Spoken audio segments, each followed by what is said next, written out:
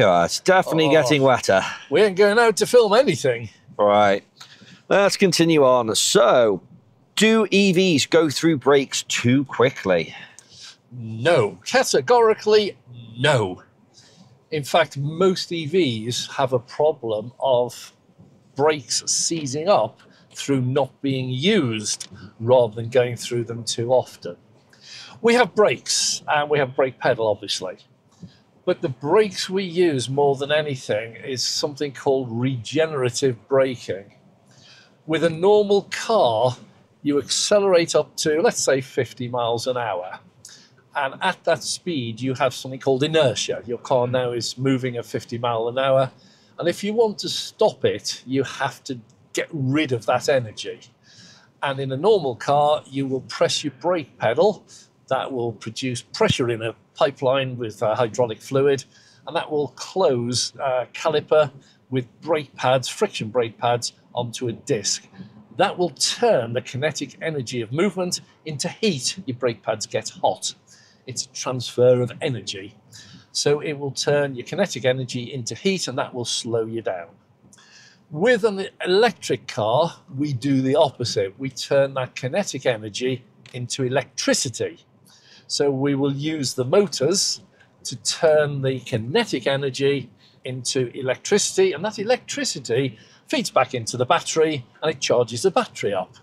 So we don't use brake pads in the same way. So when we slow down, we just recharge the battery. It's a really simple system. It's all automatic. You don't need to think about it. If you press your brake pedal in a, an EV, in most cases, it will actually just use the regenerative braking to charge your battery. And that means that we don't use the brake pads the same.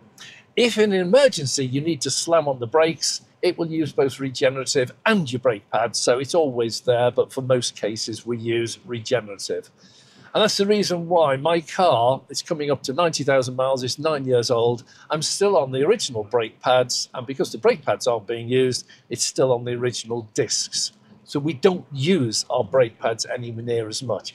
Because we don't use them, there is a real risk of the brake pads, the calipers, seizing up through lack of use. So it is recommended in the handbook that every so often that we press our brake pedal a bit harder than normal just to keep the brake pads moving.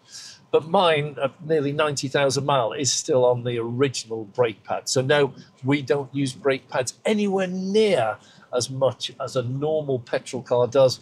And this is a, uh very fast, two-ton heavy E EV. When you look at how quickly technology moves on, we see this with smartphones, where a smartphone from five years ago feels almost ancient, is there a real risk that EVs will age quite poorly due to their dated, antiquated software? Um, yes, to a certain degree. Although, like a smartphone, uh, you can do software updates. This one has regular software updates. So, what you find with a smartphone, for example, is it just becomes out of date with the hardware. So, the camera can't be updated. If it's a 20 megapixel camera, that's what you've got, and software can't make it any better. Um, but you can do what they call firmware updates, which will improve an awful lot of the functions of the smartphone. That's the same with cars, um, with EVs. Uh, I get a lot of software updates which will improve the functionality of the car, but the style of it and the um, the screen itself, they, they are sort of in effect baked in. Now, one of the things I like about the Tesla is that if I wanted to, and I'm very seriously considering this, I can actually upgrade the software. So my screen, for example, I have a main screen and I have a, a driver display. Um, they're fully upgradable, so I can put it into the Tesla uh, dealership, and they will upgrade both the screen, uh, both the screens, and the processor and the memory and everything uh, to the latest version. And it will give me a load of extra features, bring me up to date. Uh, I've got 4K and everything. Uh, it's a total full update doesn't change the bodywork. It's still an old car. Doesn't change the seats. It's still a little bit worn after nine years. But the technology will actually be a lot better. So in some ways, you can keep up to date with the technology, but then the appearance goes out of date and it just looks an old car. Well, if appearance matters to you, you wouldn't spend the money updating the technology, you would just buy the next new car. If the technology matters more than appearance, you'd just do the update. So it depends what's important to you. To me, once I'm in it, the technology is more important than the appearance. But to other people, they have to be seen to have the latest car in front of their neighbours or their workmates. Um, it takes all sorts with EVs being so software heavy, do we just run a risk of everything going to a subscription and everybody just being nickel and dimed by large companies like Tesla? Uh, the answer is well, it's a strange one because it's a twofold answer. And this is where you have to be very careful with the company that you choose for your car, your EV, because there are two directions you can go in.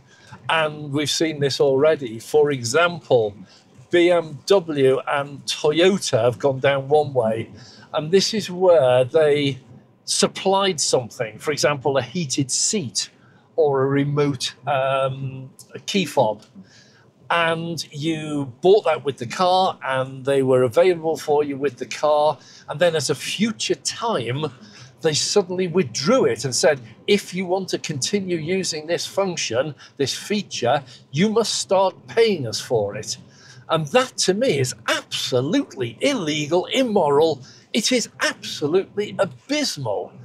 You bought it, it was a feature that you owned, you owned outright, and they decided to then start trying to rake rake it in by charging you for something that you owned. That should be banned. On the other hand, on this one, for example, this Tesla, what they've offered me is I've got a screen, um, I've got a, a, nice display and a display in front of me, and it's working fine, but it's very much outdated now. What they offer me is if I want to do an update to the very latest one, I can buy an update. This one, when it came out, doesn't have FSD. If I want FSD, I can subscribe to FSD. Now, when I came out brand new, FSD wasn't available. I couldn't have bought it at the time, but it's now available. So this is something extra that I've never had and maybe never wanted at the time that I can now add on. So there's a very distinct difference between something that you bought and owned and they're now trying to charge you for and something they offer you brand new that you might want to want to buy. Now, if they're offering you something brand new, they could either offer it as a one off payment or they can offer it as a subscription. So let's take Tesla again. They offer FSD in America as a one off payment, and I think it's about eight or nine thousand dollars, which is worth it or not, depends whether you want it, or you can have it as a subscription and I think it's $99 a month. But that's not charging you for something that you got with the car originally and they're now forcing you to pay. It's an extra that you didn't buy when you bought the car. And you just have a choice of whether you want it. If you do want it, do you want to pay for a lump sum or do you want it on a monthly subscription? And this is what you've got to be careful of. This is a slippery slope. This big difference between being forced to pay for something that you had and no longer can have, and being offered something new that you never had. Well, that brings us to the end of our rainy day adventures. I hope that you have all enjoyed uh, us addressing some of these EV myths, these concerns, these fears that people have around it, and hopefully it's put your mind at ease.